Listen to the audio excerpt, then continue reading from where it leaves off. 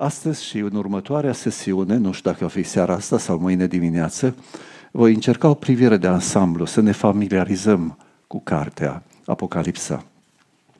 Și mai întâi aș vrea să vedem uh, ce ne propunem în călătoria asta, prin prima privire de ansamblu. Și aș vrea să număr mai întâi pașii. În primul rând, ce conține cartea? Ce conține cartea? Orice carte e făcută dintr-un text și dacă citești cu atenție textul, vei găsi conținutul, ceea ce autorul a dorit să ne comunice prin cartea asta.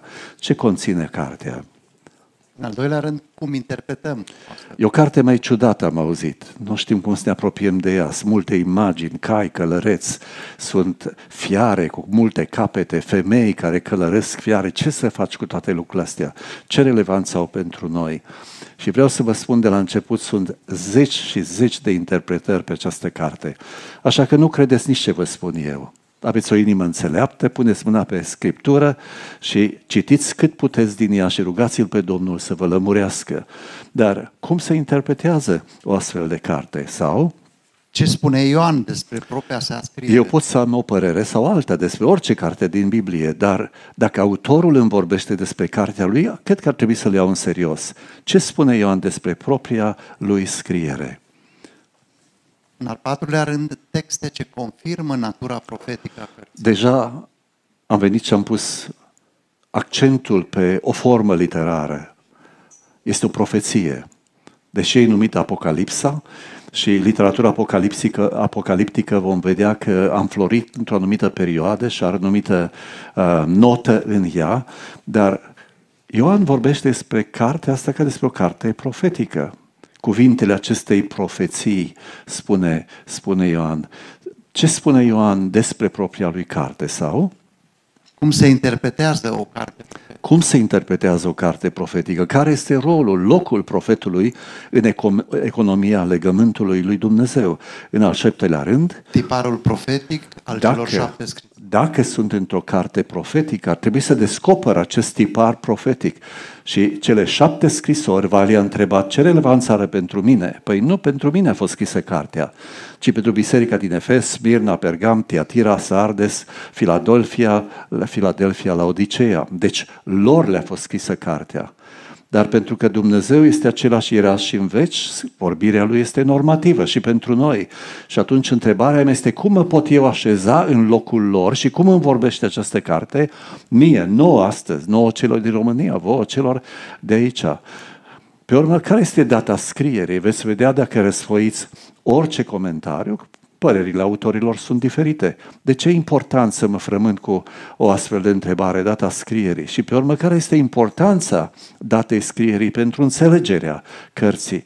Pentru care din cele două poziții datarea timpurie sau târzie, comunică cel mai bine cartea.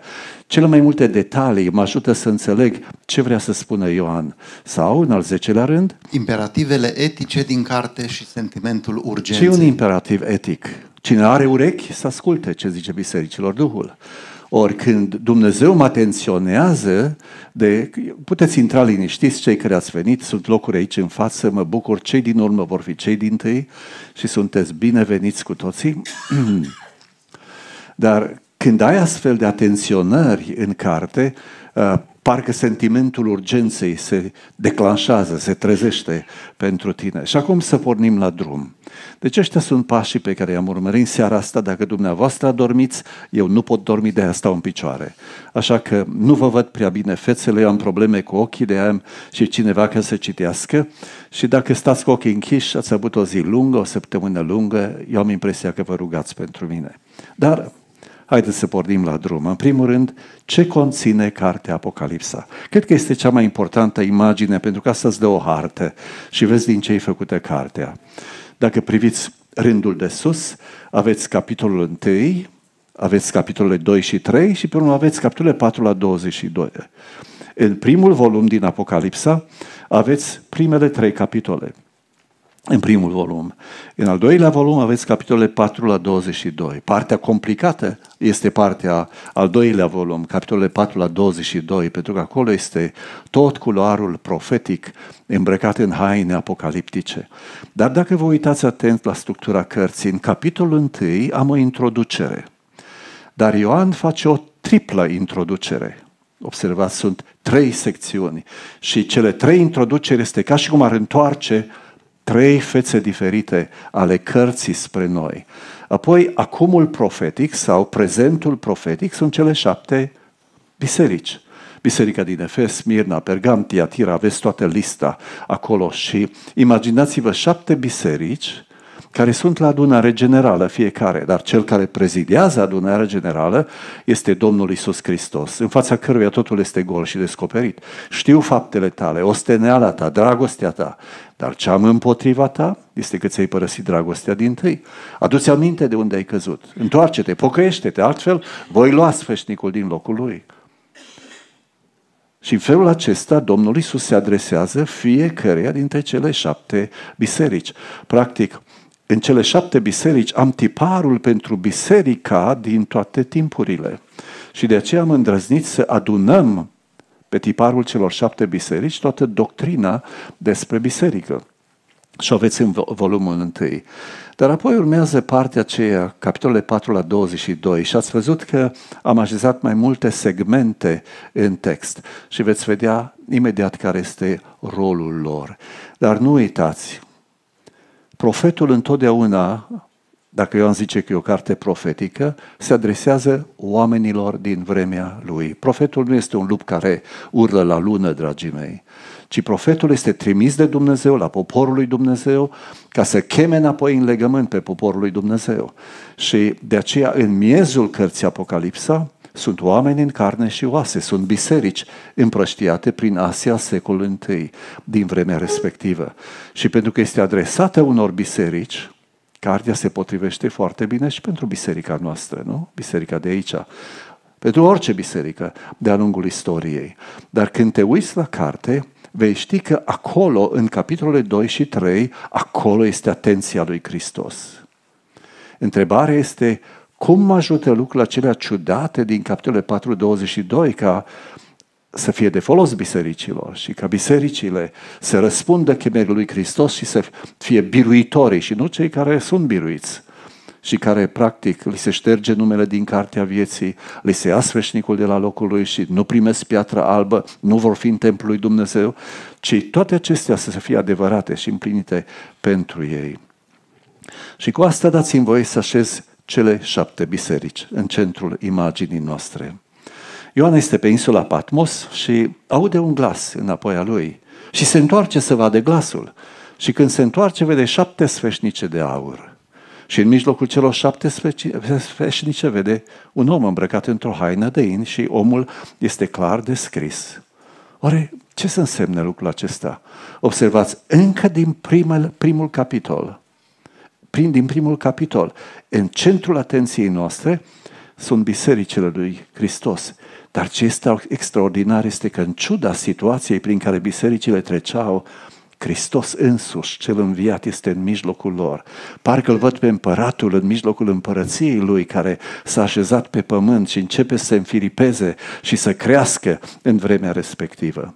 Deci, în centrul cărții sunt cele șapte biserici cu Hristos prezent în mijlocul lor.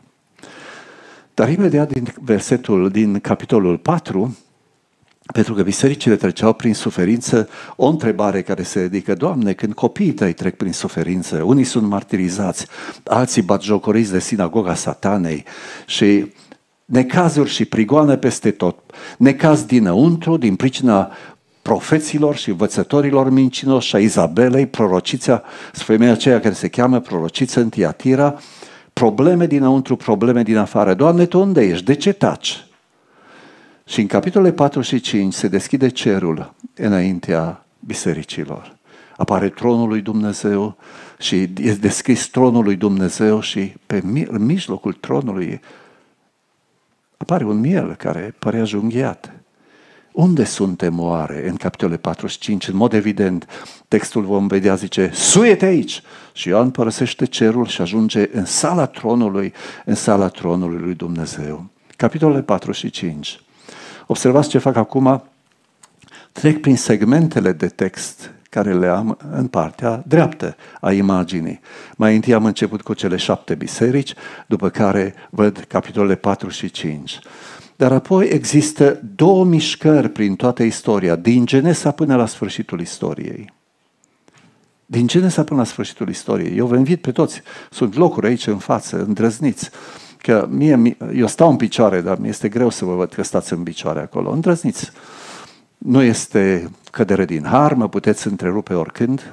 Important este să vă stați comod și să vă bucurați de cuvântul lui Dumnezeu. Și de bucurăm că ați venit. Mm. Spuneam că următorul segment de text, capitolele 6 la 11, este o baleiere, o mișcare prin istorie, din Genesa până la sfârșitul ei. Dar de data aceasta, toată mișcarea prin istorie este pe linia blestemului. Cu alte cuvinte, încep să se rupă pe cețile, vin caii, cu, sună trâmbițele, se varsă potirele mai târziu în capitol, dar în toată perioada asta, 6 la 11, am o trecere prin toată istoria pe linia blestemului. Apoi sunt capitole 12 la 14. Din nou se reia toată povestea, din Genesa până la sfârșit, de la începutul până la sfârșitul istoriei, dar de data aceasta pe linia binecuvântării. Dar de ce vorbim de blestem și binecuvântare? Pentru că legământul pe care Dumnezeu l-a încheiat cu poporul său a fost întărit de binecuvântări și blesteme. Ascultarea aduce binecuvântare, neascultarea aduce blestem. Citiți Exod, citiți Levitic, citiți Deuteronom și veți vedea că în toate aceste cărți Dumnezeu întărește uh, legământul prin binecuvântări și blesteme. Deci dacă vă uitați, în centru avem cele șapte biserici pe Hristos, avem cerul deasupra lor și pe urmă o mișcare prin istorie de două ori. O mișcare prin istorie de două ori. Odată pe linia blestemului, apoi pe linia binecuvântării. Blestemul 6 la 11, binecuvântarea 12 la 14. Apoi când ajungem în capitolul 15, deja Sfinții sunt adunați în prezența lui Dumnezeu. Și pe urmă încep să se verse potirele. Și potirile, dragii mei, aduc pedeapsa lui Dumnezeu peste întregul pământ. Ce e important de înțeles?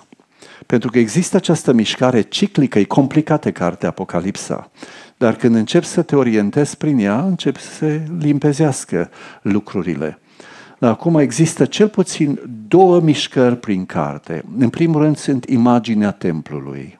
Mai întâi se deschide cerul. Da? Apoi se deschide templul lui Dumnezeu. Apoi se deschide chivotul mărturiei. Și există o mișcare tot mai aproape de tronul lui Dumnezeu. Pe de altă parte, când se rup pe cețile, pedepsele vin 1 pe 4. Când sună trâmbițele, pedepsele vin 1 pe 3. Observați, se amplifică pedeapsa. Când se varsă potirele, este 1 pe 1, tot pământul, da? 1 pe 1. Și foarte interesant că lucrul acesta vine după capitolul 15, vărsarea, revărsarea um, potirelor. Dar să mă întorc înapoi la miezul cărții, la cele șapte biserici și la cerul care se deschide deasupra bisericilor. Atunci când treci prin suferință și prin probleme și prin temniță, biserica din Sarde sau martiraj, biserica din Pergam, sau când ești lovit dinăuntru și persecutat din afară, una din întrebări este, Doamne, de ce taci? Unde ești? De ce tace cerul? Și poate că duminică dimineața vom încerca să răspundem la această, la această întrebare. Dar haideți să citim textul, capitolul 4, versetul 1. După aceste lucruri m-am uitat și iată că o ușă era deschisă în cer. Glasul cel din tâi pe care l-auzisem ca sunetul unei trâmbițe și care vorbea cu mine mi-a zis Deci, eram pe insula Patmos în ziua Domnului, da? Și un glas m-a strigat. Și am întors să văd glasul. Și înapoi a mea am văzut pe cel care îmi vorbea. În capitolul 4 zice, același glas care l-am auzit vorbind, Acum mă strigă din ceruri. Cum adică? Fiul omului poate fi și aici și acolo? Cu siguranță că da. Da? Cu siguranță că da. Nu? Acum se spune că fizicienii au descoperit că un electron poate fi deodată în două puncte distincte, sub două forme distincte, particulă sau cum se poate? Dragii mei, suntem în lumea lui Dumnezeu. Și aici, același glas pe care l-auzim înainte, acum mă strigă din cer, din prezența lui Dumnezeu. Și uitați-vă ce se întâmplă. Suiete aici și îți voi arăta ce are să se întâmple după aceste lucruri. Și el se pomenește în sala tronului lui Dumnezeu. Și în capitolul 4 se descrie tronul, suveranitatea lui Dumnezeu, Creatorul. Erau patru făpturi vii care susțineau tronul, erau 24 de bătrâni în jur, erau ca o mare de sticlă, erau șapte lămi de foc, care sunt cele șapte duhuri ale lui Dumnezeu și Ioan se pomenește în uh, sala tronului lui Dumnezeu. Dar când tronul începe să vorbească, una din făpturile vii, ce se întâmplă în momentul acela? În primul rând, se rup șapte peceți, apoi sună șapte trâmbițe. Și observați, cu fiecare palier se amplifică pedeapsa. Mai întâi o pătrime din pământ, apoi o treime din pământ. Și am lăsat deoparte pe, uh, potirele deocamdată. Dar să mă opresc lângă cele șapte peceți. Capitolul 6, versetul 1. Când a rupt mielul cea din tâi din cele șapte peceți, m-am uitat. M-am uitat și Am auzit pe una din cele patru făpturi vii zicând cu un glas ca de tune. Vino și vezi. Cornilescu traduce cu vino și vezi. În limba greacă este un singur cuvânt, acu. Vino! Dacă zic vino și vezi, făptura vie vorbește cu Ioan. Dacă zic vino, întrebarea este, pe cine cheamă? Îl cheamă pe Ioan? Cheamă pe unul din călăreți? Pe cine cheamă? Important este să nu uitați tronul lui Dumnezeu de porunca. Și vom vedea, tronul lui Dumnezeu este meridianul zero al întregului univers. Cu alte cuvinte, istoria este în căușul palmei lui. El dictează cursul istoriei. Nu noi oamenii. Deși avem impresia că suntem suverani și ne-am întors împotriva lui Dumnezeu. Vino! strigă una din făpturile vii. Mielul începe să rupă pe cețile și Tronul lui Dumnezeu cheamă caii pe scena istoriei. tronul lui Dumnezeu cheamă caii pe scena istoriei. M-am uitat. Și iată că s-a arătat un cal alb. Cel ce sta pe el avea un arc. I s-a dat o cunună și a pornit biruitor și ca să biruiască. Notați, vă rog, textul. În Biblie, fiecare cuvânt și fiecare virgulă e importantă. Și de aceea trebuie să citești cu atenție. Nu poți dormi pe jumătate când citești Biblia. Spune, a pornit biruitor. Ce scrie mai departe? Ca să birue. Deci vine de undeva cu o biruință gata câștigată, dar el merge până la sfârșitul istoriei ca să finalizeze această biruință. Indiferent cine este călărețul pe calul alb, dragii mei, el trebuie să vină de undeva biruitor și să termine alergarea biruitor. Spuneți-mi despre cine poate fi vorba. În teologie și în cărți și în comentarii veți găsi tot felul de păreri. Dar dacă vă închideți ochii pentru o clipă și zice, cine în tot universul, din ce cunoaștem din Biblie, vine ca biruitor și va termina ca biruitor? Numai el. Numai el, da? Numai el. Avea un arc în mână, era un războinic și a pornit biruitor ca să biruiască. Imaginați-vă pe cetea întâia, ca pe o linie continuă care vine de undeva din veșnicii și se va termina în veșnicii, dragii mei, dar el este biruitor. Foarte mult zic, este vorba de anticrist. Nu, nu, anticristul, dragii mei, va fi spulberat de Domnul Isus Hristos la venirea Lui. Citiți 2 Tesaloniceni. Spulberat! Unul singur va termina biruitor. Domnul Isus este anunțat deja de Tatăl, sămânța femeii îți va zdrobi capul. Da? Uitați-vă cum se termină Apocalipsa. Vine un înger și nu trebuie să fie puternic și le pe șarpele cel vechi, pe Satan și leagă și îl aruncă la dânc și pecetluiește Apoi îi se dă drumul pentru puțină vreme, dar este aruncat în iazul de foc. Să pui în seama lui birui? Nu, nu se poate. Nu se poate. În lumea Scripturii, dragii mei, unul singur a pornit biruitor, dar când a câștigat biruința trecută, vom vedea un pic mai târziu și el va termina ca biruitor. A pornit biruitor. Și observați, principiul acesta al biruinței precede absolut tot ce se întâmplă în cartea Apocalipsa. Cu alte cuvinte, tot ce citim acolo trebuie văzut în lumina ideii cu care noi am venit din Videnest în 93. Dumnezeu este pe tron, Dumnezeu este biruitorul, El are ultimul el are ultimul cuvânt. Și acesta este principiul biruinței enunțat de Dumnezeu, nu inventat de Dumnezeu, rostit, dragii mei, de Dumnezeu în istorie, dar biruința a fost câștigată în veșnicia trecută, vom vedea. Înainte de întemeria lumii, Fiul lui Dumnezeu, atunci când tronul a întrebat, cine va merge pentru noi? Pe cine să trimitem? Profeția din Isaia 6. S-a auzit o voce, iată-mă, trimite-mă în sulul cărții, este scris despre mine, vin să fac voia ta, Dumnezeule. Dar cine este cel care răspunde, iată-mă, trimite-mă, în sulul cărții este scris despre mine? Oh, este cel care în veșnicia trecută s-a ridicat și-a dezbrăcat slava lui și-a luat chip de om și-a așteptat împlinirea vremii ca să se întrupeze, să locuiască printre noi plin de har și de adevăr și apoi să moară și să învie a treia zi din morți și să revină ca leul din seminția lui Iuda, ca să încheie istoria, dragii mei, ca biruitor. Dar înainte de întemeierea lumii, Fiul a dezbrăcat slava lui și a devenit mielul lui Dumnezeu, care încă nu fusese, dar părea junghiat. Părea junghiat, ne spune textul. Priviți o clipă imaginea din fața voastră. Axa aceasta este o axă a veșniciei și istoriei. Aveți în, miez, în mijlocul ei punctul acela care este întemeierea lumii. În stânga aveți veșnicia, în dreapta aveți istoria. Ce s-a întâmplat înainte de întemeierea lumii? Dumnezeu a alcătuit în sine însuși planurile mântuirii. Dar pentru ca planul acesta să poată fi pus în aplicare, cineva trebuia să accepte să devină protagonistul acestor planuri.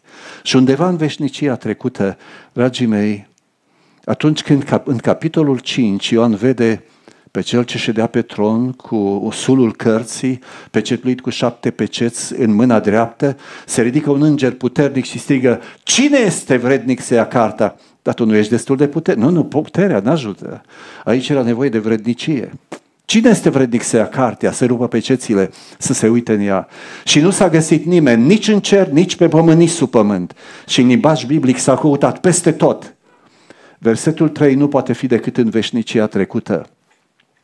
Am plâns mult, spune Ioan, pentru că nu s-a găsit nimeni vrednic. Și în timp ce Ioan plângea, nu uitați unde Ioan este în cer.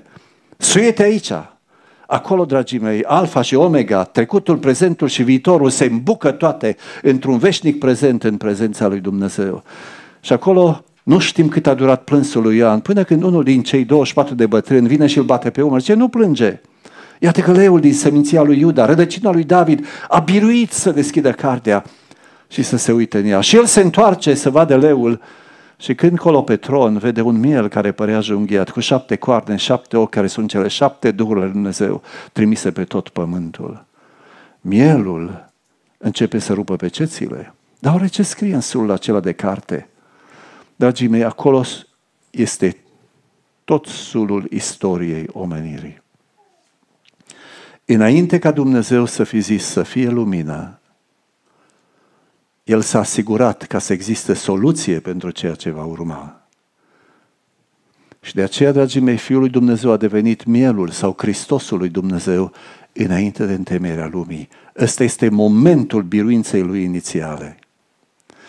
Când la împlinirea vremii, da, când la împlinirea vremii el se naște în Betlehem, trăiește 33 de ani, este pus pe o cruce, în via treia zi din morți, observeți, el vine ca biruitor și pe urmă trece prin istorie ca să biruiască. Numai El poate fi călărețul de pe calul alb. Doar în lumina acestei biruințe deja câștigate, Dumnezeu a creat pe om. I-a dat libertatea de alegere, l-a așezat într-o grădină și a spus, poți să mănânci după plăcere din orice pom din grădină. Din pomul cunoștinței binelui și răului să nu mănânci. În ziua în care vei mânca din el, vei muri negreșit. Știa Dumnezeu că în ziua opta omul va călca în strechini și va prăvăli istoria în vârtejul păcatului? Sigur că știa. De ce a dat drumul istoriei? Pentru că altfel, dragii mei, n-ai putea să-ți iubești nevasta și copiii. Să nu vorbesc despre iubirea lui Dumnezeu sau ura. Nu ar exista iubire și ură. Fără libertatea de alegere. Dragii mei, noi suntem niște simpli roboți, păpuși, pe care un păpușar cu care se joacă. Dar Dumnezeu ne-a creat după chipul Lui pentru El.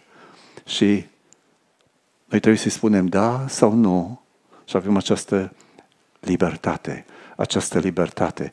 Este prețul libertății noastre de alegere, este moartea Fiului Său, pregătit pentru înjunghiere înainte de întemeria, înainte de întemeria lumii. Și acum încerc să se așeze lucrurile în mintea mea, pentru că în Genesa, capitolul 3, versetul 15, spuneam, Dumnezeu nu inventează soluția pentru problema creată de Adam și Eva, ci Dumnezeu rostește în istorie principiul biruinței. Vrășmășie voi pune între tine și femeie, între sămânța ta și sămânța ei. Aceasta îți va zdrobi capul, tu îi vei zdrobi călcâiul. Zdrobirea călcâiului este suferința și moartea lui pe cruce. Dar zdrobirea capului șarpelui, dragii mei, va veni la sfârșitul cărții Apocalipsa, când va fi aruncat în iazul, în iazul de foc. Povestea asta, dragii mei, n-am inventat-o eu. O altă carte, nu știu, Daniel nu este pe aici, așa -i? Ba da. O altă carte este Daniel și veți vedea că e o carte foarte importantă pentru cartea Apocalipsa, pentru că Ioan va lua tot felul de imagini din cartea Daniel ca să comunice celor șapte biserici imaginile astea ciudate. Dar uitați-vă doar la două texte, capitolul 2 și capitolul 7. Nebucadnețar are un vis și este atât de tulburat de visul lui, încât își cheamă toți înțelepții. Și nimeni nu poate zice, ghiciți-mi visul, visul și dați-mi tâlcuirea, împărate. Nimeni n-a cerut așa ceva de la vrăjitorii lui. Și el se uită la statele de plată și când vede câți are de plătit în fiecare zi la curtea lui, zice, dacă nu-mi spuneți visul și tâlcuirea lui, vă mor pe toți. Și începe să taie capetele. Și vin la Daniel să-l ia să-l omoare și pe el. Zice, te ne un să vorbim cu Dumnezeul nostru. Și Dumnezeu îi dă și tâlcuirea, îi dă și visul și tâlcuirea. Și știți probabil imaginea. El vede o statuie uriaș cu un cap de aur, cu un piept de argint, aramă, picioarele, un lut și fier. Și dintr-o dată dintr-un munte se desprinde o piatră fără ajutorul unei mâini și lovește picioarele statuii și o spulberă și toată devine ca pleava vara în arie și o ia vântul. Imaginați-vă dacă povestea asta ar fi fost pentru o istorie îndepărtată, de ce l-ar fi interesat pe Nebucadnețar ca să-și omoare toți înțelepții de la curte? Nu, nu, asta trebuia să vizeze ambițiile lui. Nabopalasar, tatălui Nebucadnețar, dragii mei, cel care a pornit Neobabilonul și care a indus în copilul lui, în puiul lui, în, în prințul moștenitor, ambițiile lui. Gândiți-vă că Nebucadnețar a creat un imperiu extraordinar, grădinile Semiramidei, doar fortificațiile Babilonului. Toată povestea asta viza regatele care vor urma după el. Și el vede dintr-o dată toate ambițiile lui spulberate. De ce? Sub soare, totul e deșertăciune și goană după vânt. Veniți în capitolul 7, versetul 13. Este o altă viziune, de data asta o are Daniel și el vede vânturile cerurilor suflind pe marea cea mare și dintr-o dată, dragii mei, din mare se ridică tot felul de fiare. Una mai fioroasă ca cealaltă. Prima dintre ele se ridică în două picioare și îi se dă o inimă de om. Ca și cum s-ar fi întâmplat ceva cu el. Și ăsta este capul de aur, nebucat nețar. Dar pe urmă vin celelalte fiare, dragii mei, și la un moment dat se așează tronul lui Dumnezeu și începe judecata. Și fiarele sunt nimicite. Și apare o altă imagine, versetul 13 și 14.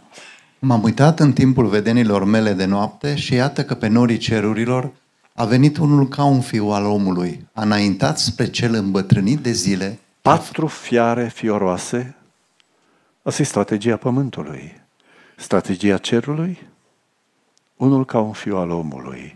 Ce diferență de putere. Unul ca un fiu al omului.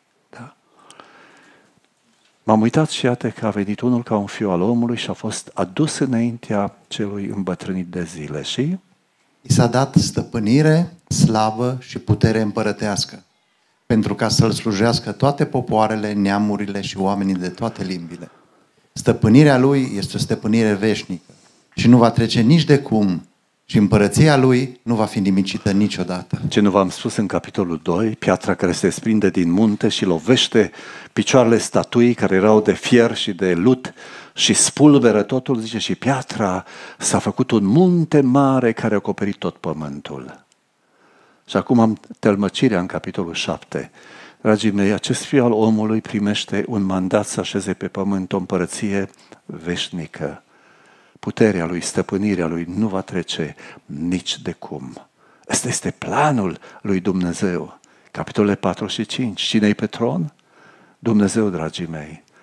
Tronul lui Dumnezeu cheamă în existență caii și în felul acesta pornește, pornește istoria după călărețul cu calul pe calul alb. Dar să trec la celelalte peceți.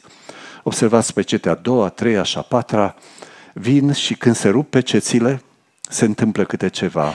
Și pecețile ne duc până la crucea Domnului Isus Hristos. Până la crucea Domnului Isus Hristos. Patru călăreți, fiecare cu un mesaj. În primul rând, al doilea călăreț, Să ia pacea, al treilea, restricția al alimentară, patrulea, moartea. iar când se rupe pe cetea cincea de sub altar, sunt câteva voci. Până când, stăpâne Doamne, încetezi să răzbun sângele nostru asupra locuitorilor pământului? Li s-a dat fiecăruia o haină albă și le-a spus să se odihnească până se vor împlini numărul tovarășilor lor care vor fi uciși ca și ei. Martirii. Dacă încerc să desenez lucrurile, să aduc și martirii pe scenă, observați, martirii în pecetea cincea trec printre toate celelalte și duce istoria mai departe până când Dumnezeu va hotărâ. Dar se rupe pecetea a șasea. Când a rupt mielul pe cetea șasea, m-am uitat și iată că s-a făcut un mare cutremur de pământ. Soarele s-a făcut negru ca un sac de păr, luna s-a făcut toată ca sângele. Toate acestea, în literatura profetică din Vechiul Testament, sunt semne scatologice care anunță venirea zilei Domnului, ziua cea mare a mâniei lui Dumnezeu. Soarele s-a făcut, s-a întunecat, s-a făcut ca un sac de păr și luna plină ca și sângele. Versetul Și stelele au căzut din cer pe pământ, cum cad smochinele verzi din pom când este scuturat un vânt vânt puternic. puternic. Cerul s-a strâns ca o carte de piele pe care o faci sul și toți munții și toate ostravele s-au mutat din locurile lor. Wow. Împărații pământului, domnitorii, capitanii oștilor, cei bogați și cei puternici, toți robii și toți oamenii slobos s-au ascuns în peșteri și în stâncile munților. Și- Și, și ziceau munților și stâncilor, cădeți peste noi și ascundeți-ne de fața celui ce șade pe scaunul de domnie și de mânia mielului. Împărații pământului, domnitorii, cei mari, cei puternici, dintr-o dată văd ceva. Apare mielul. Zice, ascundeți-ne de mânia mielului. Ce te aștepta să se întâmple? Ca Dumnezeu, dragii mei, să-și reverse mânia asupra lor și să-i pustiască. Dar, versetul 17 spune Căci că a venit ziua cea mare a mâniei lui și cine, Cine poate, poate sta în picioare? Cine poate sta în picioare? Și e foarte interesant că se deschide o paranteză. Da? Capitolul 7. Și în paranteza respectivă, mai întâi, vezi niște îngeri care stau și țin vânturile pământului ca să nu izbucnească mânia. Și vine un alt înger cu o pecete în mână, zice, stați, stați, stați, nu vă temați pământul, până vom pune pecetea pe slujitorii lui Dumnezeu. Și începe pecetluirea, 144 de mii din cele 12 seminții a lui Israel. După care se mută imaginea și înaintea tronului lui Dumnezeu, o gloată mare, care nu putea să numere nimeni din orice neam, orice seminție, orice norod, orice limbă, stăteau în picioare. Cine poate sta în picioare? Cineva stătea în picioare înaintea mielului, dragii mei, cu ramuri de finic în mână. Și citiți capitolul 7. Întrebarea este, ce s-a întâmplat? Ascundeți-ne de mânia mielului. Dragii mei, suntem la prima venire a Domnului Iisus Hristos. Când, după ispitirea din pustie, a ieșit plin de Duhul Sfânt, a intrat în sinagoga din Nazaret și s-a dat sulul cărții să citească. Și în timp ce citea din Isaia 61, se oprește exact la mijlocul faței, un an de îndurare. Închide cartea și dă înapoi îngrijitorului și toată lumea se întoarce să uite la el. Toți știau textul. De ce te-ai oprit la mijlocul frazei? Și Domnul îi spune, astăzi s-au împlinit aceste cuvinte. Știți ce urmează? Și o zi de răzbunare a Dumnezeului nostru. De ce n-a citit? Pentru că El a venit să ia focul mâniei lui Dumnezeu să și-l toarne în cap. Ați trecut prin Ezechiel?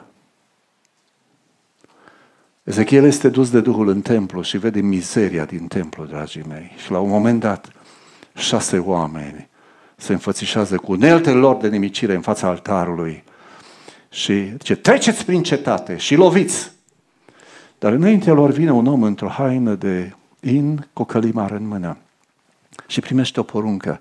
Du-te și pune un semn pe fruntea celor care plâng de tot răul care se întâmplă în cetate. Și pe urmă, acolo sunt heruvimii tronului Dumnezeu și omul în haina de in primește o poruncă. Du-te și ia focul dintre heruvim. Și el merge și unul din heruvim ia focul și îl pune în mână. Zice, aruncă-l peste cetate. Și omul în haina de in ridică focul să-l arunce peste cetate și din toate, pac, se rupe filmul. Și slava Domnului pleacă și te întreb, ce s-a întâmplat? Ascultați-l pe Domnul Isus. Am venit să aprind un foc pe pământ și cât de mult doresc se întâmple lucrul acesta. Dragii mei, împărații pământului, ce ascundeți-ne de fața mielului și de mânia lui, celui ce șade pe tron. Dar la prima venire, întrupatul Fiul al lui Dumnezeu și-a turnat focul mâniei lui Dumnezeu în cap și a lăsat toată paranteza istoriei bisericii în care să fie pecetluiți robii lui Dumnezeu. Capitolul 7. Te duce până la terminarea istoriei, dragii mei. Abia la pecetea șaptea suntem la sfârșitul istoriei. Nu uitați, șapte este o cifră pe care o găsești. Șapte biserici, șapte peceți, șapte trâmbițe, șapte potire. Dar ce se întâmplă după cruce? Domnul Isus a venit, a luat toată pedeapsa lui Dumnezeu asupra lui ca să lase loc pentru pocăința noastră dar, dragii mei, dacă noi refuzăm pocăința, se vor revărsa potirile. Și noi trăim în vremea trâmbițelor și veți vedea pedepsa lui Dumnezeu lovind absolut totul, de la soare, aer, apă, apă, pământ, tot. De la o zi la alta, dincolo de toată nebunia noastră, șapte îngeri îmbrăcați frumos în haine albe, încinși la brâu, fiecare cu o trâmbiță și fiecare anunță o pedeapsă, de data asta pedeapsa crește. 1 la 3. Pe ce ți l-a adus 1 la 4? 1 la 3. Apoi urmează capitolele 12 la 14 și în capitolele 12 la 14, ca și cum toate lucrurile se opresc și Ioan reia din nou istoria din Genesa până la sfârșitul ei, de data aceasta pe linia binecuvântării și abia apoi se varsă pe cețile. Observați 4 la 5 cerul, 6 la 11 istoria blestemului, după care 12 la 14 istoria binecuvântării. M-am uitat și iată că am văzut o femeie învăluită în soare, cu luna sub picioare, cu unele 12 stele pe cap, era însărcinată, țipând durele nașterii, avea un mare chin să nască. Și am văzut un mare balaur roș și are capetele și cununile și stă înaintea femeii să-i mănânce pruncul când îl va naște. I-a născut un copil de parte bărbătoasă, dar cine să fie copilul vom vedea mâine. El va cârmui neamurile cu un de fier. Dacă nu știi Vechiul Testament, n-ai cheia să dezlegi cartea Apocalipsa. Și toate aluziile astea, dragii mei, te trimit la răspunsurile pe care le ai în carte. Dar femeia a născut un copil de parte bărbătească și Balaur nu l-a putut mânca, deși a încercat prin irod, prin...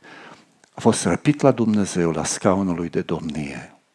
Și apoi se declanșează un război în ceruri. Miail și îngerii lui se luptă cu Balaur și cu îngerii lui, dar n-au putut birui și Balaurul și îngerii lui sunt aruncați pe pământ, spune textul nostru. Pentru că copilul a fost răpit la Dumnezeu, la scaunul lui de domnie. Foarte interesant. După războiul acesta care se declanșează în cerul, balaurul este aruncat pe pământ. Vai de voi, pământ și mare! Diavolul s-a coborât la voi cu mânie mare, știe care e puțină vreme. Se nepustește împotriva femeii, se dau aripile unui vultur și este dus în pustie și ascuns de ochii diavolului. Și atunci Balaurul când vede că femeia a dispărut, cine o fi femeia, vom vedea mâine, dar când a văzut că a dispărut, își reorientează toate forțele împotriva rămășiței, seminței, femeii care păzesc poruncile lui Dumnezeu și țin credința în Isus Hristos. Vă las pe voi să-mi spuneți cine sunt ei. Abia pe urmă, când într-un fel sună și trâmbița șaptea și suntem în prezența lui Dumnezeu înaintea tronului lui, se vor revărsa cele șapte potire, șapte îngeri cu cele șapte potire. Vin și la porunca tronului lui Dumnezeu, încep să verse mânia lui Dumnezeu asupra întregului pământ. Unu la unu. Întregul pământ. Dragii mei, în Ezechiel, suntem într-o pedeapsă localizată pe poporul și cetatea lui Dumnezeu. În Apocalipsa, povestea vizează întreaga noastră planetă. Apocalipsa 17 și 18 o fiară de culoare stacojie și o femeie cu un potir în care sunt sângere martirilor îmbătată de sângele lor. Ce interesant! Două entități diferite. Femeia nu-i fiara, fiara nu-i femeie. Despre cine să fie vorba? Vom vedea mâine. Când ne mutăm un pas mai departe, în capitolul 19, de la 11 la 21 se deschide cerul și de data asta un călăreț pe calul alb, parcă m-am mai întâlnit cu el. Dar n-avea o cunună, ci multe cununi împărătești. Oștile din ceruri urmau călări îmbrăcați în haine albe, strălucitoare. Și dintr-o dată, dragii mei, împărații pământului reapar pe scenă. I-am întâlnit în capitolul 6. De ce doar acum la sfârșitul istoriei? Pentru că aici, dragii mei, Vine leul din seminția lui Iuda, nu vine mielul lui Dumnezeu. Și păsările cerului sunt chemate la ospățul lui Dumnezeu. Și toți sunt omorâți, dragii mei. Toți. Călărețul în care alb, îmbrăcat într-o haină mâiată în sânge, coștile din cer care urmau călări, au venit împotriva răzvrătiților împotriva lui Dumnezeu. Versetele 11 la 21. Apoi am văzut cerul deschis și iată că s-a arătat un cal alb. Cel ce sta pe el se cheamă cel credincios și cel adevărat. Ochii lui erau ca parafocului. Capul îl avea încununat cu multe cununi împărătești și purta un nume scris pe care nimeni nu-l știe decât numai el singur. Era îmbrăcat cu o haină muiată în sânge. Numele lui este Cuvântul lui Dumnezeu. Așa l-am cunoscut, așa a trăit printre noi. Despre el a mărturisit Ioan în capitolul 1. Dar el este, nu ce am văzut noi pe pământ, un nume pe care nimeni nu-l știe. Nimeni. Este Domnul domnilor, împăratul împăraților, creatorul întregul univers. Nimic din ce a fost făcut n-a fost făcut fără el. Citiți numai primele trei versete din Coloseni, capitolul 2. Toate comorile înțelepciunii și științei sunt în El. În El. În El. Cineva spunea, când cercetezi universul acesta și începi să pui tot felul de întrebări, dar cum e asta, cum e cealaltă. Și te tot duci înapoi în istorie și la un moment dat te pomenești în fața lui Hristos. Pentru că în El se adună tot universul și toată istoria. De data aceasta vine să pună capăt, să aducă biruința finală despre care a vorbit primul călăreț. Oștile din cer îl urmau călări pe cai albi, îmbrăcate cu in subțire alb și curat. Din gura lui ieșea o sabie ascuțită ca să lovească neamurile cu ea, pe care le va, le va cârmui cu un toiac de fier. de fier. Și va călca cu picioarele teascul vinul mâniei aprinse a puternicului Dumnezeu. Pe haină și pe coapsă avea scris numele acesta, Împăratul împăraților și Domnul domnilor. Apoi am văzut un înger care stătea în picioare în soare. El a strigat cu glas tare și a zis tuturor păsărilor care zburau prin mijlocul cerului, Veniți, adunați-vă la ospățul cel mare al lui Dumnezeu. Ca să ce? Observați ce nu s-a finalizat în capitolul 6. Avem finalizat acum.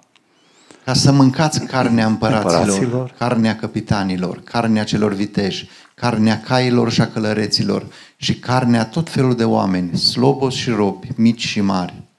Și am văzut fiara și pe împărații pământului și oștile lor adunate ca să facă război cu cel ce ședea călare pe cal și cu oastea lui. Și fiara a fost prinsă și împreună cu ea a fost prins prorocul mincinos care făcuse înaintea ei semnele și? cu care amăgise pe cei ce primiseră semnul fiarei și se închineaseră icoanei ei. Amândoi aceștia au fost aruncați de vii în iazul de foc care arde cu pucioasă. Iar ceilalți au fost uciși cu sabia care ieșea din gura celui ce ședea călare pe cal. Și toate păsările s-au săturat din carnea lor. S-au săturat din carnea lor. Când citești Apocalipsa, trebuie să-ți imaginezi o tapiserie. Apare la început un fir, pe urmă dispare și reapare undeva mai târziu și în felul acesta se construiește cartea. Și pentru că ai aceste mișcări, apar, dispar lucrurile, nu totdeauna știi unde ești, decât dacă citești, citești și iar citești, da, iar citești cartea. Când mă mut mai departe, în capitolele 26 versete, avem mileniul, domnia de o mie de ani a lui Hristos și a celor care n-au primit semnul fiarei pe frunte și pe mână, dragii mei, și a martirilor. Sunt câteva categorii de oameni care vor domni împreună cu Hristos. Apoi când mă mut la sfârșitul cărții, am noul Ierusalim coborându-se din cer, cortul lui Dumnezeu cu oamenii. Cel ce va birui va moșteni aceste lucruri. Conținutul cărții. Mai trăiți? Dar este doar primul punct din seara asta. Dacă fac un pas mai departe, cum interpretăm o astfel de carte? Dragii mei, nici nu vreau să le citesc pe toate. Sunt cel puțin patru școli de interpretare. Aveți aici preteristă, istorică, istoricistă sau... Futuristă și, și idealistă. Idealiste. Dar sunt multe altele. Multe alte interpretări. Depinde ce comentarii luați. De-aia vă spus, nu credeți nici ce am scris eu. Dar să le spun tuturor. Citiți Biblia, aveți o inimă bereiană, verificați ce auziți. Nu vă vindeți sufletul pe niciun guraliv din lumea aceasta. Duhul lui Dumnezeu ne-a fost dat să ne descuie mintea, să înțelegem Scripturile. Cu toate acestea, Dumnezeu a dat pe unii apostoli, pe alții proroci, pe alții evangeliști, pe alții păstori și învățători, da? Pentru desăvârșirea sfinților în vederea lucrării de slujire. Deci sunt o mulțime de cărți, Priviți o clipă imaginea din fața voastră. O găsiți aproape în toate comentariile mele. Eu îi mulțumesc lui John Stott pentru idee. Eu, cum am fost trungar și am terminat Politehnica, dacă nu desenez un text, nu-l înțeleg. Și imaginile fac cât o mie de cuvinte. Și de aia te ajută.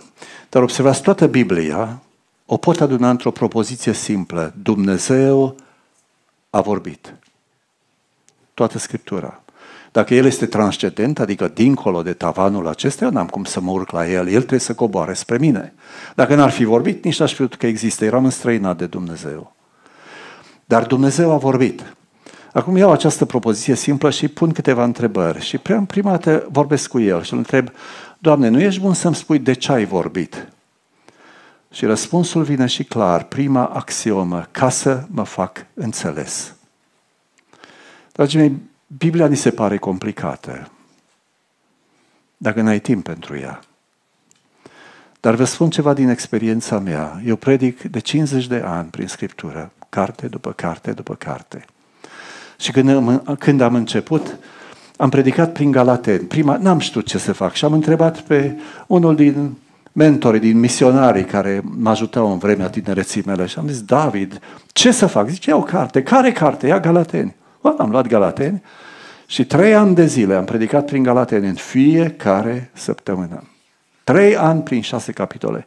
Pe urmă am luat Coloseni, patru capitole și am predicat alți trei ani, șase capitole plus patru capitole, fac zece capitole în zece ani. Și m-am oprit și am zis, câte vieți îmi trebuie să trec prin 66 de cărți? Pentru că cele două cărți nu fac cât Isaia sau Ieremia sau Ezechiel sau Apocalipsa. Și a trebuit să schimb un pic ritmul. Și așa a apărut istoria binecuvântării, în care am înțeles că Domnul Isus ne-a zis, viața veșnică este aceasta, să te cunoască pe tine, singurul Dumnezeu adevărat și pe Isus Hristos pe care l-ai trimis tu. Dar unde să-L caut pe Dumnezeu? O, este în natură, în sușile Lui nevăzute, puterea Lui veșnică se văd lămurit. Când te uiți cu băgare de seamă la lucrurile făcute de El. Da, dar ochii mei au cataractă spirituală. Eu nu mai văd. Nu mai înțeleg. Și atunci trebuie să-L găsesc mai întâi în Scriptură. Și când vin la Scriptură, prima axiomă, primul adevăr este Dumnezeu a vorbit ca să se facă înțeles. Ca să se facă înțeles, Dumnezeu a vorbit în timp și spațiu.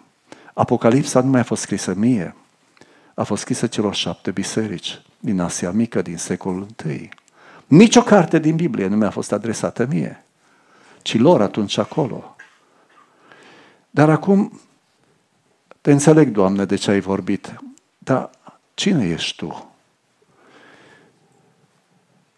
A treia axiomă, Dumnezeu nu se contrazice. Din Genesa până în Apocalipsa, el rămâne în armonie cu sine însuși. Și dacă El este alfa și omega și nu se contrazice, vorbirea Lui rămâne relevantă și normativă în toată istoria pentru noi toți. Dumnezeu a vorbit ca să facă înțeles, a vorbit în timp și spațiu, El nu se contrazice și rămâne normativ și relevant. Când te apropii de Biblie, astea sunt patru lucruri nenegociabile. Ca să se facă înțeles, Dumnezeu și-a codat mesajul în haina limbii și a literaturii. Și este foarte important să știi un pic de gramatică, să știi formele literare, să-ți fi făcut lecțiile la școală, că noi am trecut ca găsca prin apă, cei mai mulți dintre noi. Eu abia târziu am trebuit să-mi cumpăr o carte de gramatică, să văd diferența dintre o diateză și alta, dintre trecut și... Dar majoritatea dintre noi toate astea le învățăm din copilărie, nu le gândim și de ce nu le putem comunica între noi. Pentru că a vorbit în timp și spațiu, dragii mei, el și-a codat într-un fel mesajul în haina culturii respective. Unde trăia Ioan? De ce această vorbire complicată? Din pricina contextului în care trăia Ioan, felul în care se vorbea, se scrie atunci și voi vorbi despre asta mai târziu. Dar dacă Dumnezeu nu se contrazice, dragii mei, atunci am armonia întregii Scripturi și am relevanța întregii Scripturi pentru noi. Dar uitați-vă, orice carte din Biblie este determinat de contextul literar, istoric și teologic. Orice text, și Apocalipsa. Dar operează în contextul meu. Eu sunt la 2000 de ani și mai bine de Apocalipsa. Și ca să înțeleg textul trebuie să fac exegeza, să mă întorc și să scot din text adevărul. Și apoi să vin la actualizare. Noi suntem grăbiți și spiritualizăm textele, dragii mei, și vreau să vă spun foarte sincer, Dumnezeu nu girează pentru ideile lui Flavius, dar nici pentru ideile mele, nici pentru lui Vali. Nu girează. Dumnezeu girează doar pentru adevărul lui. Și de aceea când unul vorbește, celălalt trebuie să judece, nu să dormiteze cu telefoanele în mână. Trebuie să vii la biserică cu textul citit, cu întrebările puse. Cu întrebările puse. Mai ales dacă știți prin ce carte treceți. Și abia atunci Dumnezeu începe să îți vorbească ție, să actualizeze textul, să-ți dea răspuns, Vali, la întrebarea pe care ai spus-o. La ce îmi folosește mie cartea asta? Dar observ ca să știi la ce îți folosește ție cartea, mai întâi trebuie să faci o leacă de trudă. Și pentru asta ne adunăm să încercăm să înțelegem cartea. Pentru că Dumnezeu și-a codat mesajul în haina limbii și literaturii, natura unei cărți determină modul de abordare a cărții. Uitați-vă câte cărți diferite am în Biblie, în Vechiul Testament. Am narațiune istorică, am legea, am profețiile, am literatura de înțelepciune și literatura poetică, da? Dacă vin în Noul Testament, am patru evanghelii și faptele apostolilor, scrieri narrativ istorice, am epistolele, am pildele din ele și am o carte mai ciudată, Apocalipsa. Dar am subliniat trei din aceste forme literare. În primul rând, profețiile, apoi epistolele și Apocalipsa. Cu alte cuvinte, ce anume spune Ioan despre propria lui scriere? Ce anume? Dacă el îmi spune cum să interpretez, ce fel de carte am înaintea mea, probabil că e cel mai sigur lucru. Sunt aici locuri în față și abia vă aștept, îmi trag și eu sufletul până veniți. Dacă... Dar uitați-vă din nou la imaginea de ansamblu a cărții. În primul capitol am o triplă introducere, da? o triplă introducere. De pildă, am primele trei versete, am versetele 4 la 8 și am versetele 9 la 20. Sunt trei feluri de introduceri pe care Ioan mi le da, mi le oferă. În primul rând, am o introducere profetică, prima dintre ele, apoi una epistolară și una apocaliptică. Dați-mi voie să le iau pe rând. Dacă mă uit de pildă în Apocalipsa, capitolul 1, versetele 3, la introducerea profetică, așa începe cartea.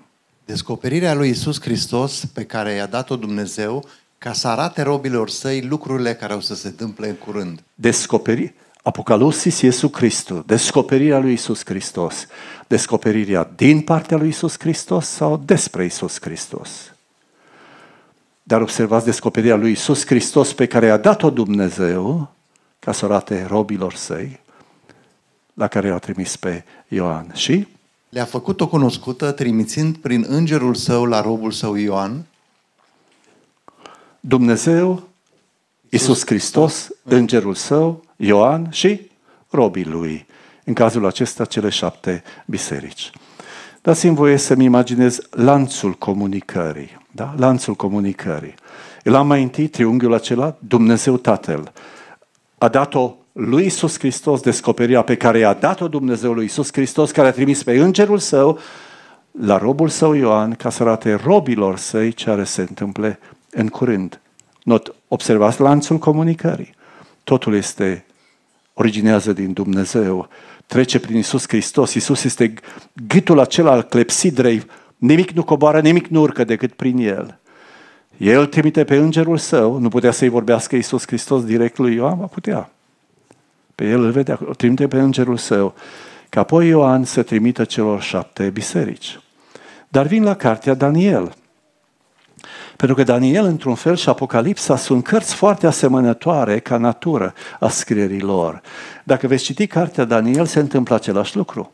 Dumnezeu trimite pe un om în haine albe care trimite pe îngerul său. Gavril, tâlcuiește-i vedenia la Ioan ca să arate robilor săi ce are se întâmple. Poate un pic mai târziu. Dar sunt foarte asemănătoare cele două cărți și de aceea este important să compari cele două cărți. Versetul 12. Ioan, care a mărturisit despre cuvântul lui Dumnezeu și despre mărturia lui Isus Hristos și a spus tot ce a văzut. Ferice de cine citește și de cei ce ascultă cuvintele acestei prorocii și păzesc lucrurile scrise în ea, căci vremea este aproape. Dacă îl întreb pe Ioan, ce fel de carte este Apocalipsa? Răspundeți-mi noastră. O prorocie, da? O profeție. Ferice de cine citește și ascultă cuvintele acestei prorocii. Și atunci Ioan este un proroc, cartea lui este o prorocie și dintr-o dată am alte 17 cărți la fel în Vechiul Testament. Și dacă știu ceva despre profeție, dragii mei, știu cum se interpretează o profeție. Și, în primul rând, texte ce confirmă natura, natura profetică. profetică a cărții. Sunt foarte multe. Eu aș lua doar câteva din ultimele capitole, capitolul 22. Și îngerul mi-a zis, aceste cuvinte sunt vrednice de crezare și adevărate. Și Domnul, Dumnezeul duhurilor prorocilor, a trimis pe îngerul său să arate robilor săi lucrurile care au să se întâmple în curând. Și iată, eu vin curând, ferice de cel ce păzește cuvintele prorociei din cartea aceasta. Eu, Ioan, am auzit și am văzut lucrurile acestea. Și după ce le-am auzit și le-am văzut, m-am aruncat la picioarele îngerului care mi le arăta ca să mă închin lui. Dar el mi-a zis, ferește-te să faci una ca aceasta. Eu sunt un împreună slujitor cu tine și cu frații tăi prorocii și cu cei ce păzesc cuvintele din cartea aceasta. Ioan, tu ești un proroc, scrierea ta este o prorocie. Observați, îngerul însuși vine și confirmă lucrul acesta, versetul 10. Apoi mi-a zis să nu pecetuiești cuvintele prorociei din cartea aceasta, căci vremea este aproape. Da. Cine este nedrept, să fie nedrept și mai departe. Cine este întinat, să se întineze și mai departe. Cine este fără prihană, să trăiască și mai departe fără prihană. Mărturisesc oricui aude cuvintele prorociei din cartea aceasta că dacă va adăuga cineva ceva la ele, Dumnezeu îi va adăuga urgiile scrise în cartea aceasta. Da. Și dacă va scoate cineva, Din cuvintele cărții acestei prorocii, îi va scoate Dumnezeu partea lui de la pomul vieții și din cetatea sfântă scrise în cartea aceasta. Ioan este un proroc, Apocalipsa este o prorocie, îmbrăcate în haine ciudate, în straie apocaliptice. Vă întrebați, de ce e o carte așa de complicată? Pentru că așa se vorbea în vremea respectivă. Uitați-vă la axa timpului, aveți crucea lui Hristos, 200 de ani înainte, 100 de ani după. Cam cu 200 de ani înainte de venirea lui Hristos a apărut literatura apocaliptică. Care este esența ei? Dragii mei, atât de tare s-au stricat lucrurile pe pământ, încât numai intervenția directă a lui Dumnezeu mai poate repara lucrurile. Și asta este natura scrierilor apocaliptice. Avem apocaliptice vechi testamentare, dragii mei, înainte de Hristos și avem literatura apocaliptică.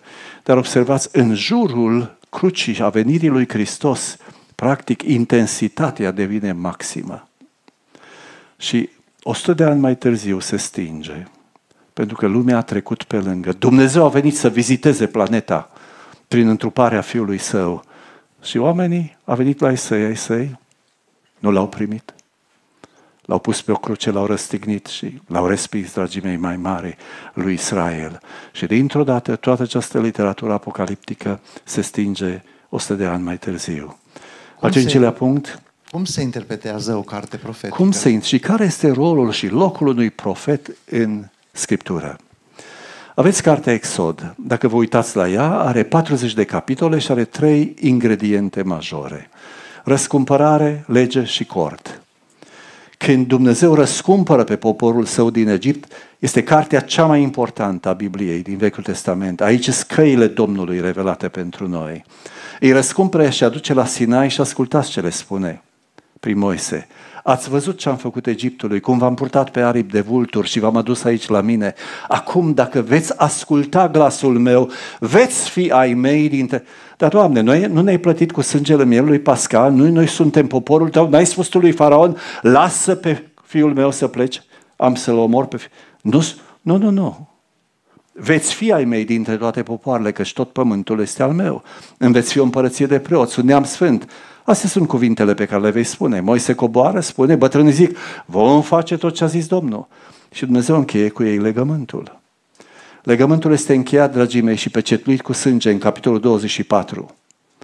Observați, relația cu Dumnezeu se încheie în spațiul ascultării de Dumnezeu. În spațiul ascultării de Dumnezeu. Dar nu uitați că istoria s-a desfășurat. Și vechiul legământ este înlocuit cu noul legământ, ne spune epistola lui Pavel către evrei. Capitolele 25 la 40 sunt cortul întâlnirii cu vițelul de aur. Dacă n-ar fi mijlocit Moise, dragii mei, Dumnezeu ar fi nimicit pe toți. Dă-te la o parte să-i nimicesc. Dumnezeu spune, Anihali, lasă-mă. A, eu te pot opri și Moise zice, nu, nu, nu, mai bine șterge-mă pe mine din cartea vieții. Și în felul acesta Dumnezeu se răzgândește. Dar Ce se întâmplă când ai călcat poruncile lui Dumnezeu, legea? Ce ai face fără cortul întâlnirii? Dar dacă am călcat și cortul întâlnirii în picioare, și aici vine rolul profetului. Profetul, dragii mei, aduce ultima măsură de har din partea lui Dumnezeu. Când ai călcat legea și pe Marele Preot și jertfa de ispășire și ți-ai bătut joc de trimișii Domnului, s-a terminat. Dacă fratele tău a păcătuit împotriva ta, du-te și mustră între tine și el singur. Dacă te asculte, ai câștigat pe fratele tău. Dacă nu te ascultea cu tine doi sau trei inși, pentru că orice vorbă să fie spriște pe mărtuia doi sau trei martori. Dacă nu ascultă de el, spune-l bisericii. Și dacă nu ascultă de biserică, s-a terminat. Să fie pentru tine ca un păgân și ca un vameș. Ca un păgân și ca un vameș. Observați, profetul este trimis pe scenă când legământul sau relația dintre Iahve și Israel începe să pârâie din pricina nelegiuirilor care se înmulțesc. Profetul vine pe scenă ca să cheme poporul înapoi la legământ. Este trimisul lui Dumnezeu, vorbește în numele lui Dumnezeu. Așa vorbește Domnul, dragii mei. Nimeni astăzi n-ar trebui să îndrăznească să rostească cuvintele astea. Nimeni. Pentru că ne îndrăznești să rostești aceste cuvinte și ce ai spus nu se împlinește, trebuie să fie omorât cu pietre. Da. Ori noi ne jucăm cu lucrurile acestea. Dacă am îndrăzneală să zic așa vorbește Domnul, ceea ce auziți din gura mea trebuie pus alături de Isaia și Ieremia și restul Scripturii. Restul Scripturii. Profetul era trimisul lui Dumnezeu și el trimite când nelegiuirea, dragii mei, și el vine și dovedește nelegiuirea. Și odată nelegiuirea dovedită, plata păcatului este moartea, pedeapsa este inevitabilă. Dar în mod ciudat, în desaga profetului, sunt și blesteme, dar și binecuvântări. Și de aceea ăsta este paradoxul profetic. Nu știm dacă nelegiuirea este reală și dovedită, cum ne mai vorbește Dumnezeu despre mântuire și promisiune? Observați într-un fel, există o singură nădejde, Isaia 53, cineva care și-a turnat focul mâniei lui Dumnezeu în cap, care a plătit păcatele noastre ale tuturor, și în felul acesta a lăsat loc pentru mântuire, capitolul 7 din Apocalipsa, 12.000 plus un, o mulțime care nu poate să o numere, să o numere nimeni. Aveți istoria uh, lui Israel. Și aici aș lua în mână o altă carte, o carte mică, dar importantă mi se pare. Este cartea Profeția lui Ioel, are doar trei capitole. Și observați aveți o linie dreaptă care este primele șase cărți, Pentateuhul, cărțile lui Moise plus Iosua, după care urmează perioada judecătorilor, câteva secole, și apoi sunt primii trei împărați în regatul unit, Saul, David și Solomon. După moartea lui Solomon, din pricina faptului că a făcut praf tot ce a oferit Dumnezeu, dragii mei. Solomon Dumnezeu îi trântește ușa în nas și rupe împărăția de la el. Zece seminții la nord, două seminții la sud. Cărțile profetice, cele 17, vin între 860 și 460. Ce e foarte interesant cu cărticica aceasta este pe o vreme de secetă, patru rânduri de lăcuste, prafii toată țara. Teologii nu știu unde să o pună. Unii o așeza ca și prima carte, ceilalți o așează ca ultima carte profetică. Dragii mei, din câte am înțeles eu, ea se potrivește pe vremea secetei lui Ilie. Cum o chema pe împărăteasa din Atalia, nu? Care aproape că a stârpit seminția lui David dacă n-ar fi furat pe unul dintre prunci să-l ducă repede în templu. Și în capitolul 3 aveți calendarul evenimentelor escatologice. Dacă asta este prima carte profetică, toți ceilalți profeți, toți, nu se pot abate de la acest calendar, pentru că același Duh i-a însuflat pe toți. Doar că revelația fiind progresivă, lumina crește din ce în ce mai mult. Când luați toate cărțile profetice și le așezați în ordine cronologică, veți vedea că toate se așează pe tiparele escatologice pe care ni le oferă Ioel în cartea sa. Dar ce-o fi asta? tinerii nu mai știu. Eu mi-aduc aminte de buna mea, da? mergeam la țară și o vedeam bătrână așezată cu fusul în mână și ștorcea lâna, fusul în mână. Acum imaginați-vă că fusul acesta are un ax și pe axul ăsta se învârte lâna sau fuiorul sau uh, ce mai fi. Gândiți-vă că profetul, când își organizează o carte profetică, în mijloc aveți unde se împlântă axul. Și pe urmă, morișca aceea sunt oracolele profetice care se adună în jurul axului. Dar profetul are binecuvântări și blesteme în desagă. Binecuvântările pot fi imediate, mesianice sau escatologice. Dar la fel și blestemele pot fi imediate, anticristice și escatologice. Când profetul intră în spațiul profetic, când el îndrăznește să zică așa vorbește Domnul, el nu se află pe pământ, el se află în prezența lui Dumnezeu și vede istoria din perspectiva lui Dumnezeu. Și de aceea poate vorbi despre viitor. Vă dau un exemplu. Poporul vine la Samuel și zice, fapte-ne un împărat să ne judece. Tu ești bătrân și copiii tăi nu mai ascultă de tine. Un împărat să, nu, să ne judece să meargă înaintea noastră. Samuel se, se amărește, vine la Domnul, Domnul spune, nu te amără, nu pe tine te leapă, deci pe mine ca să nu vă domnesc peste ele. După care zice, împlinește-le dorința. Dar Samuel nu se duce să caute un împărat. De cine el să caute un împărat? Doamne, dacă e problema ta și planurile tale, tu trebuie să-l găsești. Și Dumnezeu îi spune lui Samuel, mâine la ora asta, în poarta cetății în care ești, îți voi trimite un Beniamit. Și Samuel crede atât de mult cuvântul Domnului încât merge la bucătar, pentru că tocmai se pregătea o masă, o sărbătoare, o jertfă. Îi spune bucătarului, cea mai importantă parte, pune-o deoparte pentru cine va veni. Între timp Dumnezeu, care vorbește măgăriței lui Balam, vorbește și măgărițelor lui Chiș.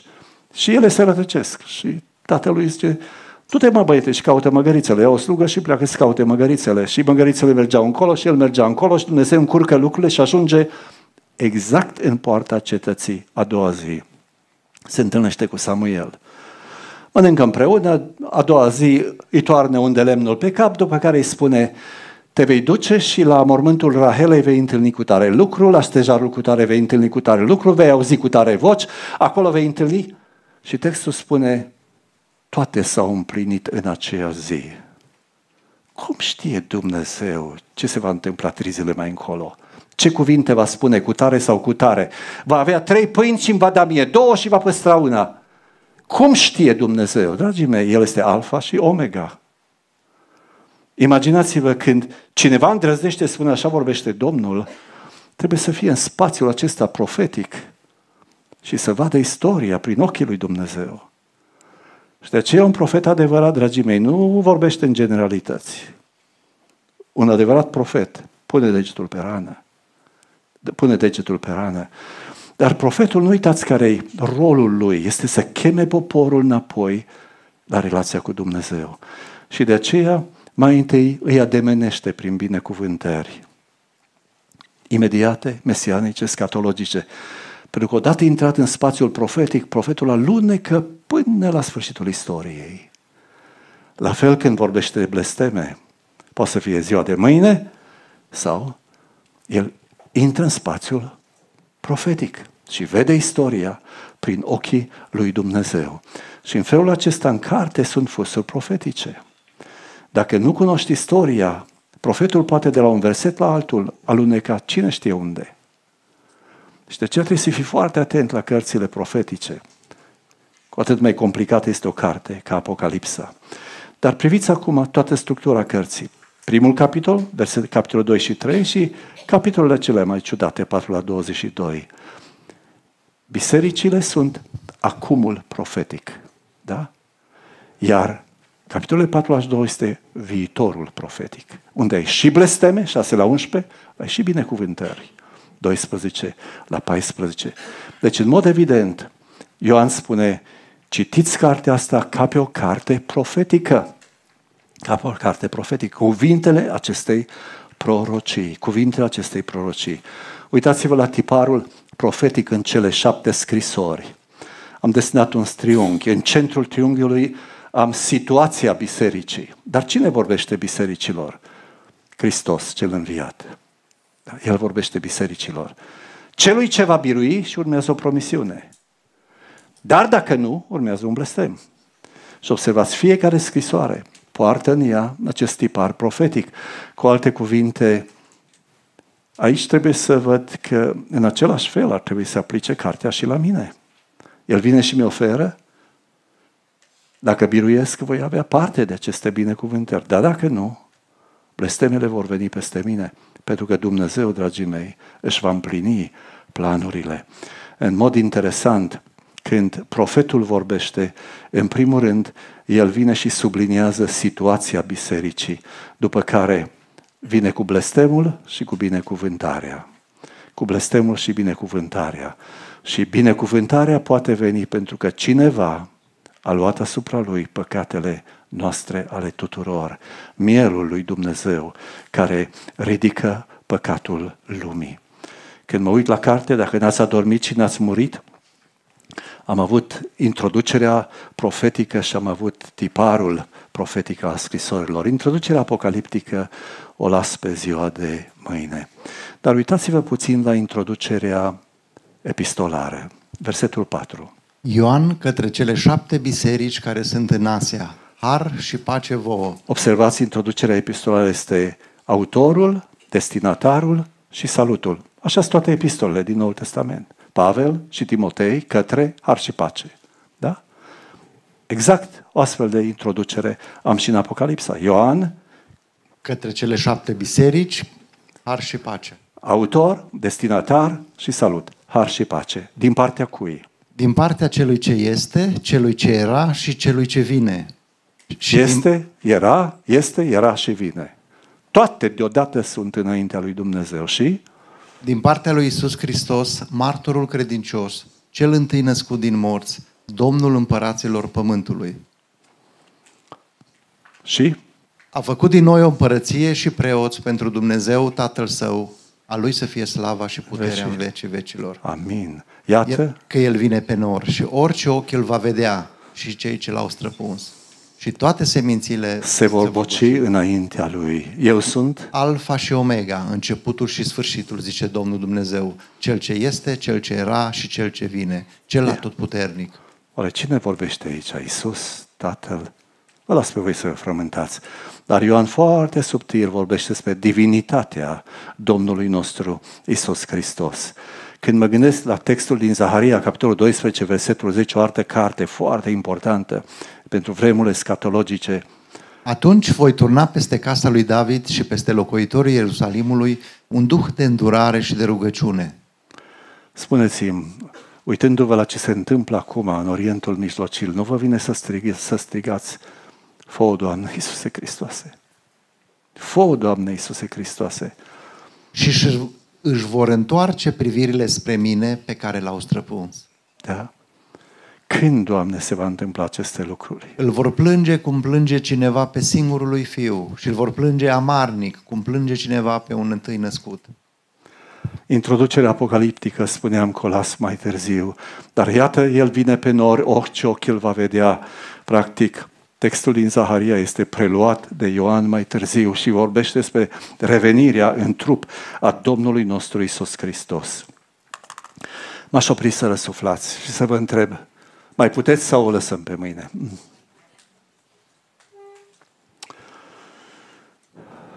Dacă aș putea face o gaură pe aici, să vină și un pic de aer, fi bine și...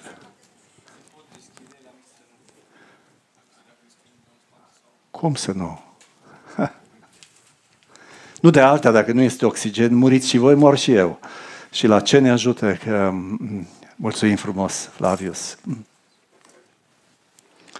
Eu încerc să vă țin în picioare, dar um, n-am muncit, doar am călătorit eu. El a fost și a condus până aici.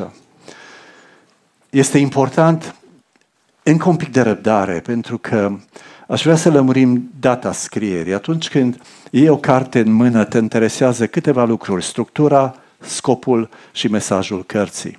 Structura cărții ține de contextul literar, scopul de contextul istoric, mesajul ține de contextul teologic.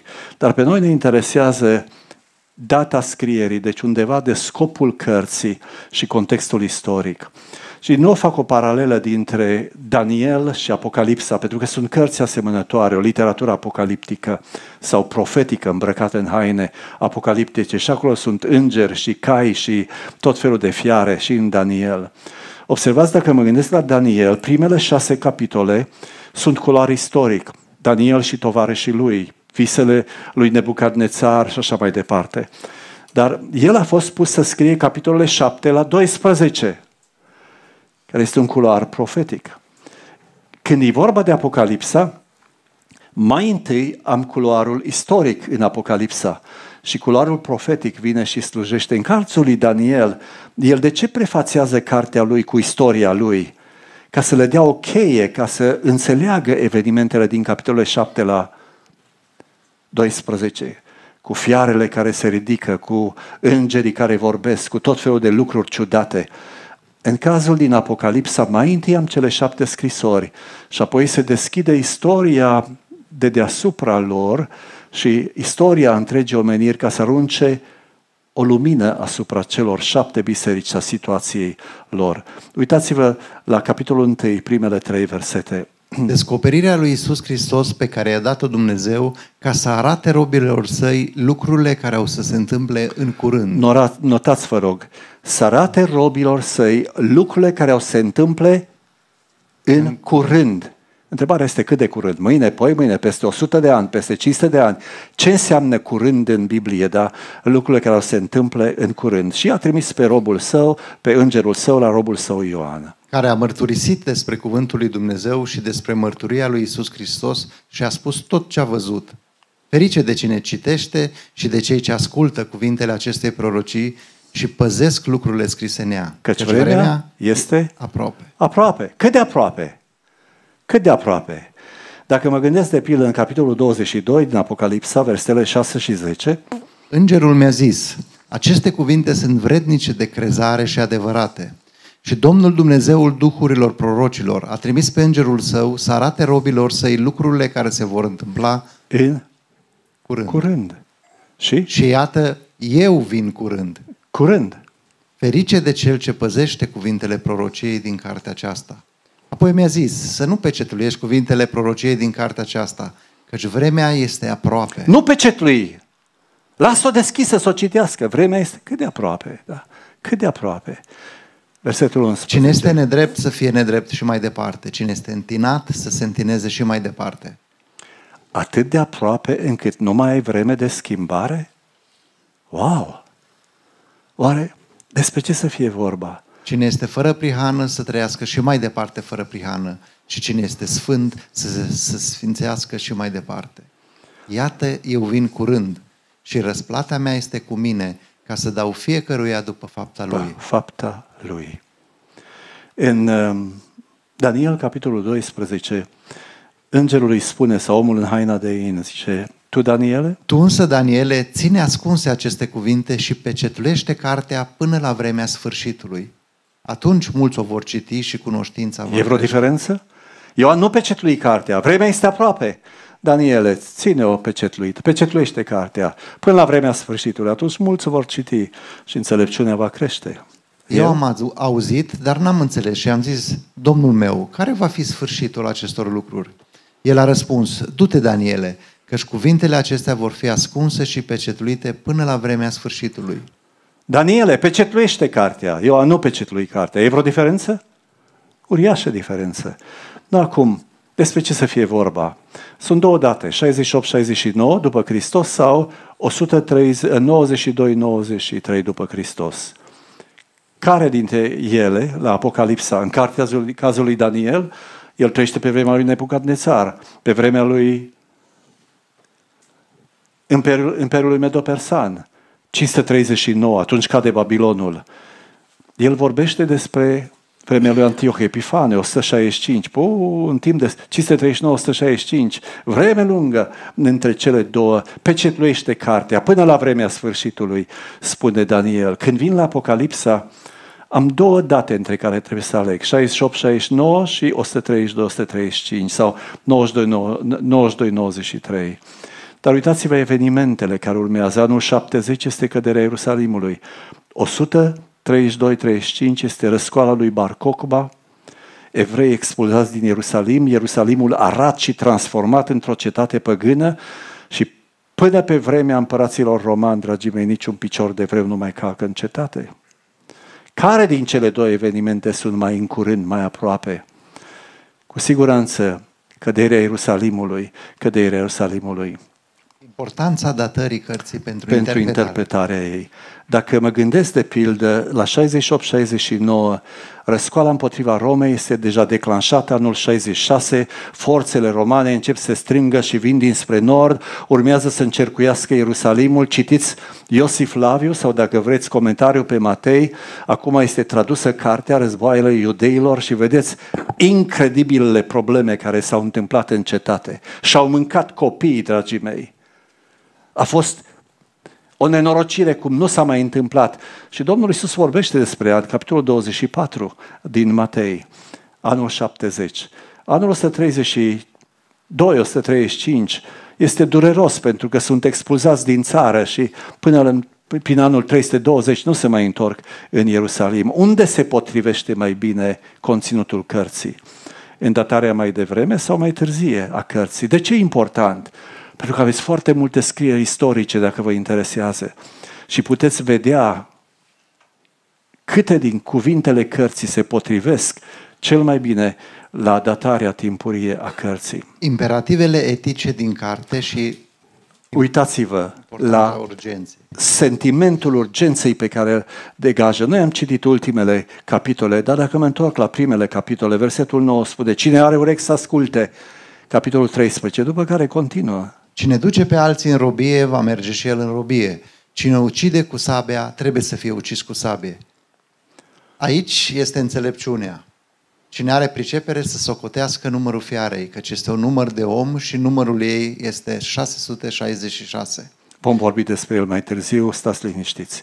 Aici este răbdarea sfinților care păzesc poruncile lui Dumnezeu și credința lui Isus.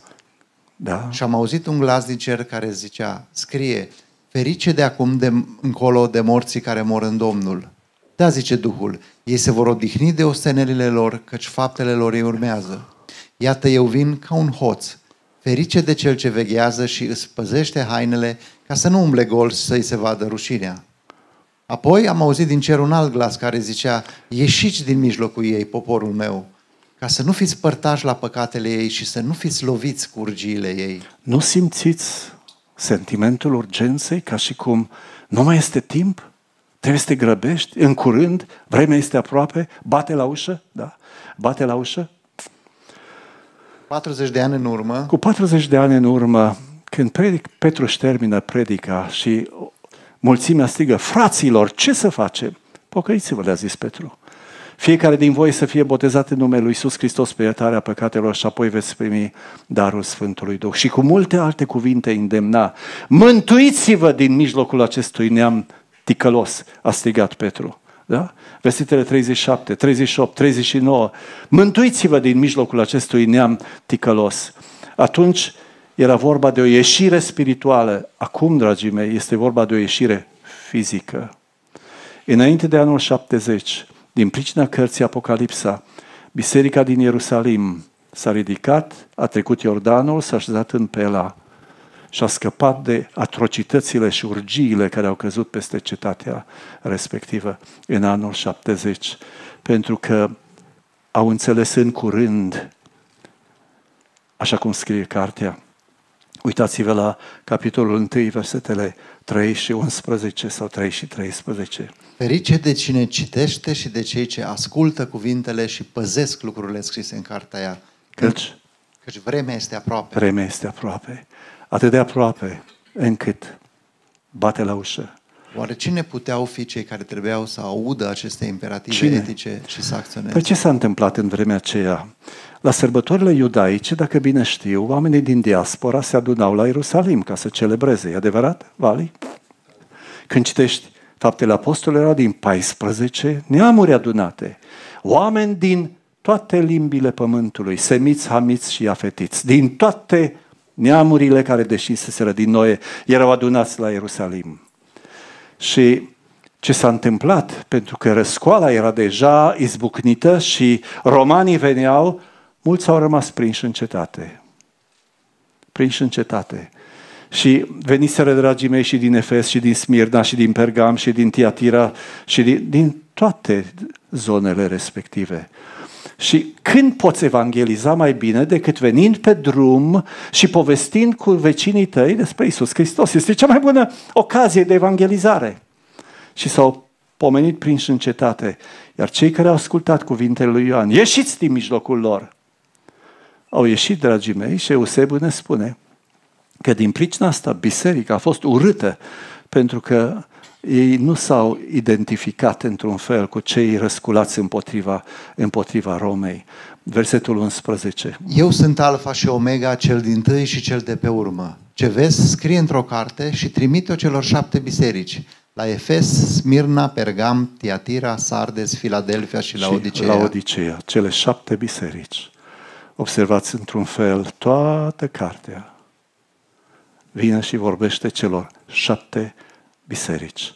În Apocalipsa 22, 10 și 11. Și aici este important să vedeți cât de curând băteau la ușă evenimentele. Apoi mi-a zis să nu pecetulești cuvintele prorociei din cartea aceasta, căci vremea este aproape. Țineți minte Sodoma și Gomora și pe Lot? Vin cei doi îngeri, știți istoria, nu vă repet. Și stau și vorbesc cu ei. Ieși! Nu, nu, nu. Mai, toată noaptea, dragii mei, alergat. De la o fată la alta, de la un ginere la altul și bătrânul vorbește prostii. Spre dimineață îngerul trebuie să le ia de fundul pantalonilor, să-l arunce afară, cu nevastă și cu fete, cu tot. Cine e sfânt, să se sfințească. Cine e nedrept, să fie nedrept. Nu mai fost vreme, dragii mei, de pocăință, de evangelizare, de absolut nimic. Pentru că pucioasa și focul a venit peste toată cetatea, peste toată cetatea. Când citesc textele acestea, mă cutremur. Pentru că pentru oricare dintre noi s-ar putea să fie atât de aproape Care din noi știe că va trăi peste un ceas? Niciunul. Niciunul. Dragii mei, pentru oricare dintre noi poate fi momentul acesta. Cine este? Nedrept să fie nedrept și mai departe. Cine este întinat să se întineze și mai departe. Cine este fără prihană să trăiască și mai departe fără prihană. Să n-ai vreme. Știți ce spune Biblia? Mâine, peste o săptămână, peste 20 de ani, ce spune Biblia? Astăzi, dacă auziți glasul, nu vă împietriți inima. Dragii mei, Dumnezeu n-a dat nimănui o săptămână decât o zi. Astăzi. Da? Astăzi. Sentimentul urgenței te copleșește când citești cartea Apocalipsa. Lot, nevastă sa, fetele lui, dragii mei, dacă n-ar fi fost scoși afară din cetate, pentru că el nu mai știa cum să desparte de bogățiile și de câmpiile mănoase ale Sodomei și toate au ars, s-au făcut praf. Ai două moduri de a trăi viața. Nedrept, întinat sau fără prihană, sfânt. Spuneți-mi, dacă m-aș gândi la numărul fiarei și la numărul numelui ei, pe care din cele două coloane ați spune numele lui Dumnezeu și numele fiarei?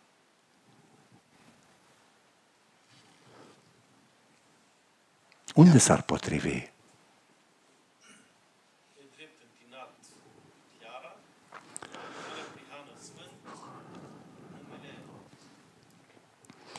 Dragii mei, cartea Apocalipsa nu te lasă să se fabulezi. Nu știu dacă mai aveți păcetea aia cu vaccinul, mai aveți careva prin... Um,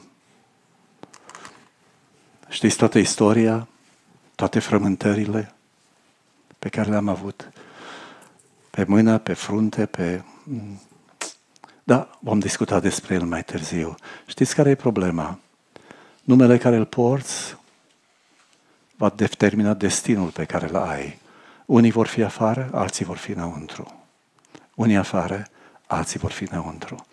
Când ne vin capitolul 22, versetul 12, iată, eu vin curând. Și răsplata mea este cu mine ca să dau fiecăruia după fapta lui. Eu sunt Alfa și Omega, cel din tâi și cel de pe urmă, începutul și sfârșitul. Ferice de cei ce își spală hainele, ca să aibă drept la pomul vieții și să intre pe porți în cetate. Spală hainele în ce? În sângele mielului. Ca să aibă drept să intre pe porți în cetate. Afară Sunt câinii, sunt ceilalți cu celălalt nume. câinii vrăjitorii, curvarii, ucigașii și închinătorii la idoli și oricine iubește minciuna și, și trăiește, trăiește în minciună. în minciună. Cel ce adeverește aceste lucruri zice, da, eu vin curând. Amin. Vino, Doamne Iisuse. Maranata, vino Doamne Iisuse. Amin.